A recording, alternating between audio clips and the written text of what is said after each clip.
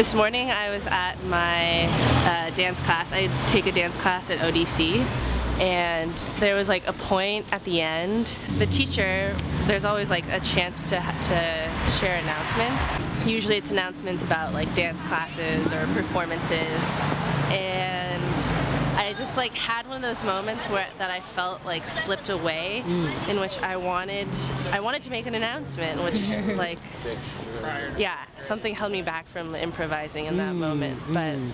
yeah I wanted to so, so, I'm gonna pretend that I'm in the class I'm in the class I'm reenacting this um, yeah I my announcement is that I want to remind you all that next Monday is Martin Luther King Day. It's January 19th. Yeah.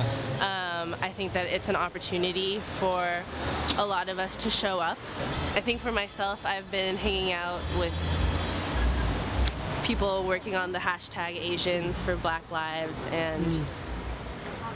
I think that organizing and like going to the streets is really important and I also have learned that like I just need to have spaces where I can talk about like how how I show up for black people like on an interpersonal level, you know? How is my own life changing? How am I changing through all of this rigmarole? Um, does that make sense? Yeah, it does. Yeah. It does.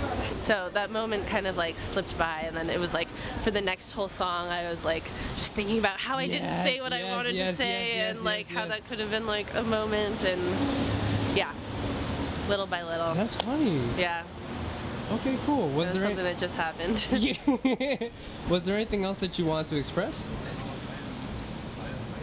Appreciation for the people in the room, just to kind of like mirror the wonderful energy that everyone brings, and also to like take time and remind people like what we have black culture to thank for like mm-hmm. as we dance and mm-hmm. sing like mm-hmm. so much of what we know is as like music and like the style and and what makes this place what makes this city like special is like the history of black culture and the presence of black people and um, yeah, I mean, yeah, I could say a lot more, but I don't know.